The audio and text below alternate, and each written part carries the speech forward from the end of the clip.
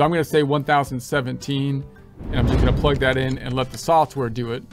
And that will then come out to my total of the 1817. Uh, Going back to the first page of the Form 1040, now I've got the itemized deductions at the 1817. The standard deduction is currently at the 12950. It's taking the greater of the two because I have my max formula here. So it's taking the 1817. Taxable income is now at the 81983. So if I go back on over, page number one, we're at the 81983, and then of course the software calculates the tax. I won't do the second half right here because I'm not really focused on that. Focus everything on that area. Right now. So there's that. So once you once you've cleared the hurdle, then of course you're saying, okay, now you're itemizing. Now it might be worth diving into the medical and dental expenses because you might get an actual benefit from it.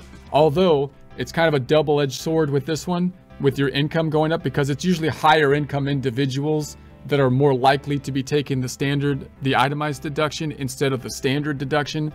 Uh, but this one has a 7.5 floor on it. So they have to clear that before it even starts to add into their to their itemized deductions and the higher their income then the the bigger that floor is the hurdle that they have to clear. So we'll talk more about that later. But then you might say, well, it might be worthwhile for you to, to add up all your medical expenses where it wouldn't have been if you were nowhere near itemizing.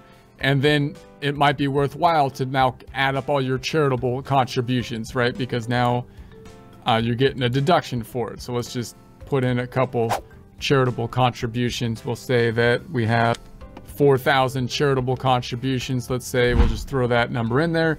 And so now we've got the 4,000. Now, if we were nowhere near itemizing, then you know that it's still good to give charity, but but it wouldn't be pulling over uh, into into here generally in that case.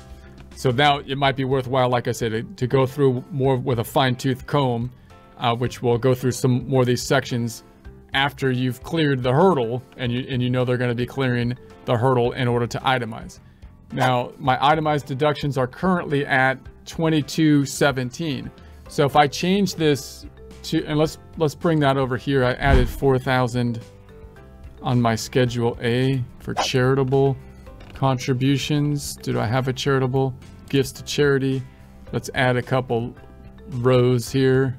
Let's add just a couple rows and I'll just say gifts charity. I might list them out here or I might not.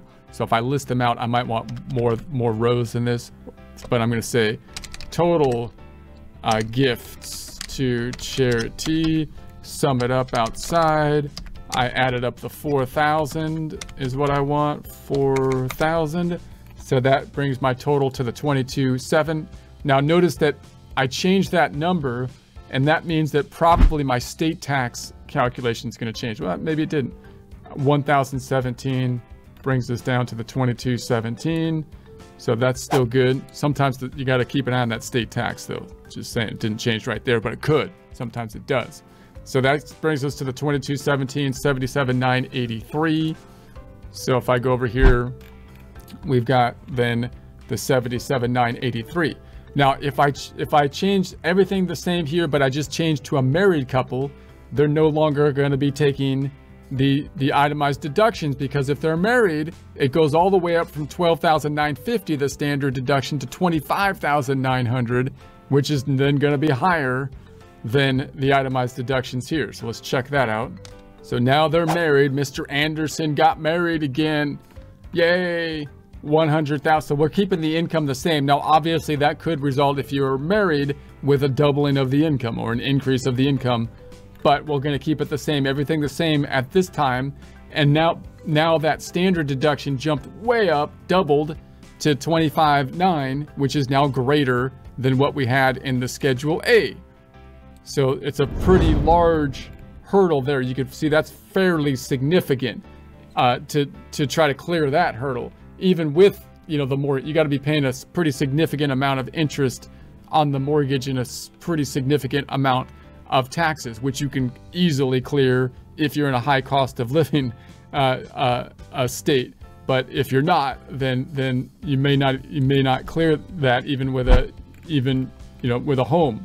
because you might not need as big a loan or whatnot. So then, so there's that. Now, if I if I mirrored that on this side, I'd say, okay, that would mean my standard deduction went up to married here, boom, 25.9. And now I can see the 25.9 is greater than the itemized deductions that we, we, calculated last time. So that means it's going to be taking the greater, the 25.9, instead of the 22.17. So that's the general, uh, the general idea. Now remember that if if you had people that were over 65, those standard deductions change, and you'll typically pop on over here to the Schedule 1040 SR, and you can look at those those standard deductions on page four. But that's the general layout. So we're going to go through some of the itemized deductions now, category by category. So many categories. For the Schedule A, we'll look at each of these categories. But what you want to do in practice in your mind when you're dealing with someone is is probably look at the prior year tax return, right? Did they itemize last year?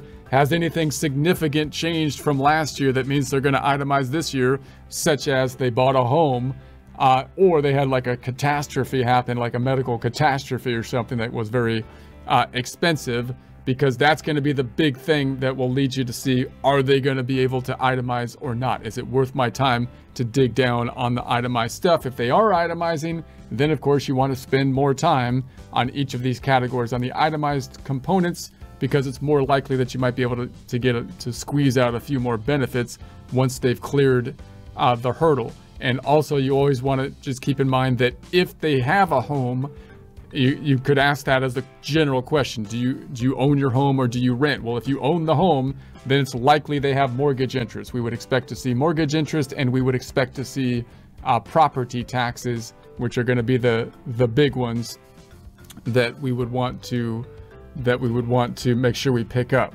And then again, once we have those, then we go then we want to drill in on all the other kind of on the other kind of stuff. So that means that when you're looking at this, you usually don't kind of look at it from top to bottom. You usually look at the Schedule A and go, interest. Let's look at that first? And then taxes, property taxes in particular. And then you might go into the other items and kind of expand on it uh, from that point.